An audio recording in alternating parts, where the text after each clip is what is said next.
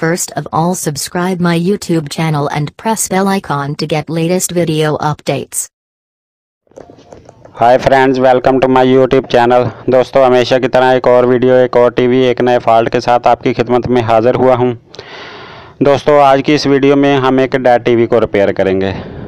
Dad TV का मतलब होता है टीवी की ना ही तस्वीर आ रही है, ना ही आवाज़ आ रही है और ना ही इसकी इंडिकेटर लाइट ऑन हो रही है और ना ही किसी किस्म की सेंस या मोशन है टीवी के अंदर। तो इस किस्म के टीवी को डैड टीवी कहा जाता है। आज हमारे पास जो टीवी आया है, वो भी इसी किस्म के फॉल्ट से ताल्लुक़ रखता है। इस टीवी को मैंने ऑलरेडी खोला हुआ है और इसका जो सर्किट है, उसको मैंने बाहर निकाला हुआ है। और इसका जो की पैनल है, उसको भी मैंने बाहर निकाला हुआ है, जिस पर इसका सेंसर वाला हिस्सा इंडिकेटर लाइट वाला हिस्सा जो है, वो भी इसके साथ लगा हुआ है, ताकि आपको समझाने में आसानी हो सके। तो आज की इस वीडियो में हम आपको स्टेप बाय स्टेप जो है, वो बताएँगे कि कहाँ से इसका शुरू करना है फॉल्ट ट्रेस करना और कहाँ तक एंड करना है। कैसे इसका फॉल्ट ट्रेस होगा और कैसे इसको रिपेयर किया जाएगा। तो आप वीडियो को देखते रहें, और हम आपको बताएँगे कि इस किस्म का फॉल्ट कैसे ठीक किया जाएगा। सबसे पहले तो इसको चेक कर लेते हैं। सीरीज़ बोर्ड में इसका स्विच लगाया और इसकी इंडिकेटर लाइट चेक करते हैं। लाइट इसकी ऑन नहीं हुई, जबकि इसकी सप्लाई में से बीप की हल्की सी आवाज़ आ रही है। बिल्कुल हल्की सी आवाज़ है, मुझे सुनाई दे रही, शायद आपको सुनाई ना दे रही हो। तो इसका स्विच निकाल कर इसका ट्रांजिस्टर भी अब चेक करते हैं। हाथ लगा कर देखते हैं तो ट्रांजिस्टर भी इसका हीट हो रहा है। तो इस सूरत में हम ये कंसीडर कर सकते हैं कि इसकी सप्लाई जो है वो ठीक है। जब इस किस्म की कंडीशन हो कि सप्लाई में से बीप आ रही हो तो 99 परसेंट हम कह सकते हैं कि सप्लाई ठीक होती है। क्योंकि सप्लाई कोशिश करती है आगे वोल्टेज जनरेट करने की, लेकिन ब्लॉकेज की वजह से इस वोल्टेज जनरेट हो नहीं पाते। अब इसका जो ब्लॉकेज आता है, वो इसके सेकेंडरी सेक्शन में आता है। सेकेंडरी सेक्शन में दो, एक, दो मेन मेन सेक्शन होते हैं। इनमें वर्टिकल सेक्शन हो गया और हॉरिजॉन्टल सेक्शन हो गया। वर्टिकल सेक्शन में वर्टिकल आईसी अक्सर शार्ट हो जाता है और हॉरिजॉन्टल सेक्शन में हॉरिजॉन्टल ट्रांस ट्रांजिस्टर वगैरह या फ्लाई बैक वगैरह शार्ट हो जाते हैं। वर्टिकल में तो ये होता है कि अगर शार्ट हो भी जाए वर्टिकल सेक्शन तो उस सूरत में ये होता है कि उसकी हर हल्की फुल्की सी जो है इंडिकेटर लाइट जो है वो ब्लिंक कर रही होती है। थोड़ा सा इशारा दे रही होती है कि फॉल्ट जो है वो हॉरिजेंटल का नहीं है, बल्कि वर्टिकल या रेड या रेगुलेटर्स सेक्शन वगैरह का है। जबकि अगर हॉरिजेंटल ब्लॉक होगा या शार्ट होगा तो उस सूरत में सप्लाई बिल्कुल ही बंद हो जाएगी। तो हम इस किट की भी पहले सप्लाई को हॉरिजेंटल सेक्शन से अलहदा करके सप्लाई को ही चेक कर लेते हैं। ये इसकी मेन सप्लाई है। पहला पहला जो डायोड है 110 वोल्ट की सप्लाई है। इस रजिस्टर में से होती हुई फ्लाई बैक में पहुँचती है। और फ्लाई बैक में से गुजर कर जो है, वो ओरिजेंटल आउटपुट ट्रांसफ़र की सेंटर वाली पेन पर पहुँचती है। तो इसकी सप्लाई को हम चेक करने के लिए इसका जो रजिस्टर है, यहाँ पर वन ओम तकरीबन वन वाट का जो है, वो रजिस्टर यहाँ पर लगा हुआ होता है। इसको, इसका एक सिरा निकाल लेंगे और इसको सप्लाई से अलहदा कर देंगे। फिर इसके बाद इसकी सप्लाई हम चेक करते हैं। अक्सर किटों में यहाँ पर रजिस्टर नहीं होता। कुछ किटों में होता है, कुछ किटों में जंपर लगा हुआ था, कुछ किटों में डायरेक्ट प्रिंट के ज़रिए ये सप्लाई, फ्लाई बैक तक सप्लाई पहुँच रही होती है। तो बेसिकली इस रजिस्टर का काम यहाँ पर फ्यूज़ का ही होता है। इसमें से गुजर कर करंट ने सिर्फ़ फ्लाई बैक तक पहुँचना होता है। तो इस ट्रांजिस्टर का हमने सोल्डर हटा लिया। सोल्डर हटाने के बाद अब इसका एक सिरा जो है वो हम बाहर निकाल देते हैं।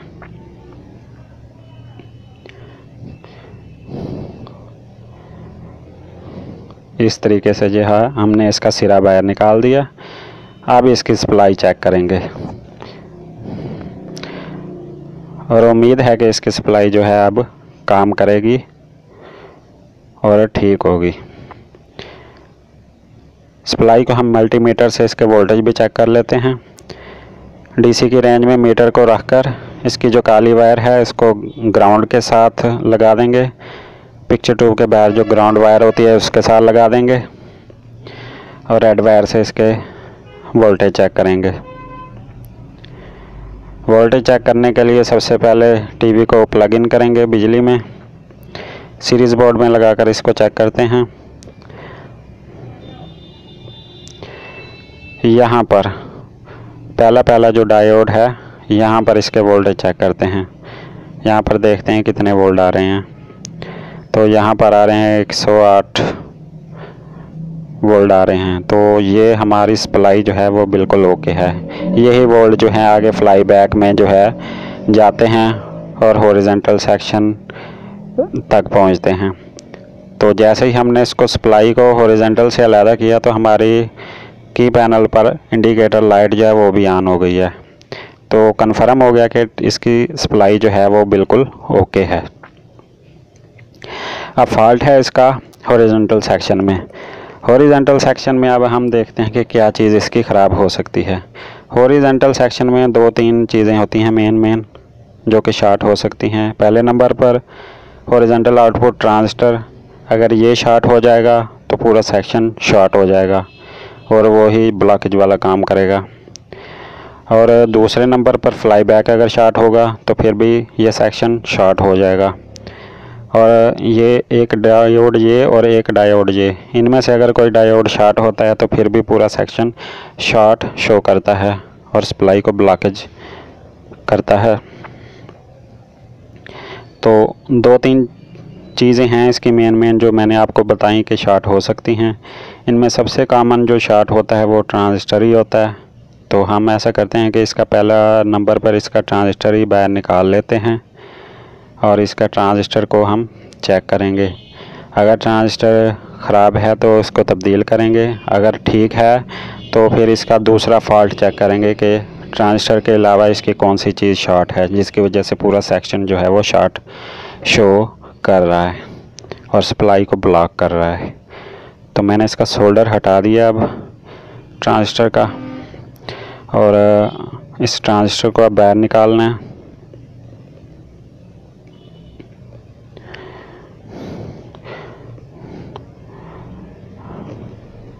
ट्रांजिस्टर को बाहर निकालने के लिए जो है इसका पेच खोल लेना है।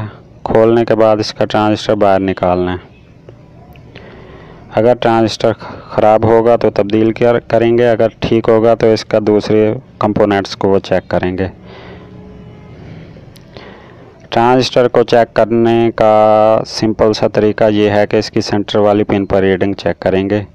रीडिंग दे रहा है या नहीं? अगर दे रहा है तो ट्रांजिस्टर शार्ट होगा, अगर नहीं दे रहा तो ट्रांजिस्टर ओके होगा। बेसिकली ये एक डायोड वाला ट्रांजिस्टर होता है, इसकी बेस टू एमीटर जो है एक इंटर इंटीग्रेटेड डायोड लगी हुई होती है। तो इसकी सिर्फ़ सेंटर वाली पिन जो है वो साइलेंस होगी, अगर ठीक होगा तो। तो सेंटर वाली पिन पर यहाँ पर रेड प्रॉब को रखकर दूसरी प्रॉब से वो यहाँ पर रीडिंग देखते हैं इसकी। चारों में रीडिंग आई है।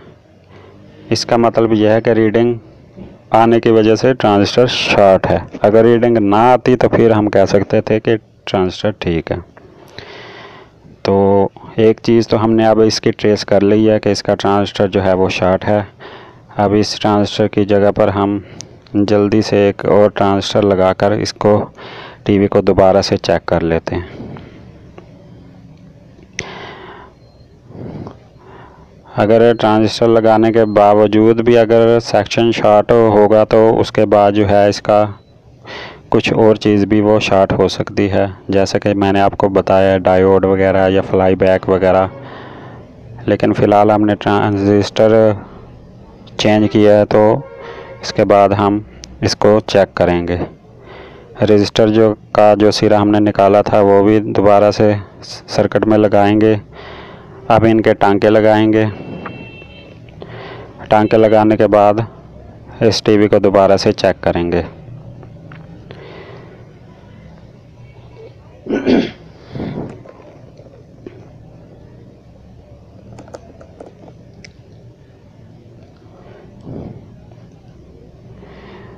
टांके हमने लगा लिए हैं, अब हम इस टीवी को देखते हैं कि टीवी ओके हुआ या नहीं। उसी तरीके से सीरीज़ बोर्ड में लगाकर इसको चेक करेंगे। इंडिकेटर लाइट अब इसकी ऑन हो रही है, पहले नहीं हो रही थी। और आप देखें कि सीरीज़ बल्ब जो है, वो भी अब लोड शो कर रहा है। इसका मतलब यह है कि टीवी उधर से हमारा ऑन हो गया है, जिसकी वजह से सीरीज़ बोर्ड पर बल्ब रोशन हुआ है। तो इसकी स्क्रीन पर भी एक नज़र मारकर हम देख लेते हैं कि ब्लू स्क्रीन अब आ रही है टीवी की। तो इसका मतलब यह है कि टीवी हमारा ऑन हो गया है। और इसे एक ट्रांजिस्टर के शार्ट होने की वजह से सारा जो है वो फॉल्ट आ रहा था। लेकिन आपको बताने की असल चीज़ ये थी कि दो तीन चीज़ें होती हैं। ओरिजेंटल सेक्शन में ट्रांजिस्टर हो गया डायोड हो गया फ्लाई बैक वगैरह हो गया।